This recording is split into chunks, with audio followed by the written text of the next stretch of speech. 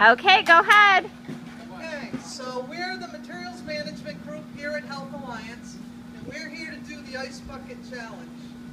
Our challenge is going out to the Duncan Division, starting with our fearless leader, Dave Duncan. And we challenge housekeeping. dietary, engineering, security. and any other department that wants to join in. All right, on the count of three. One,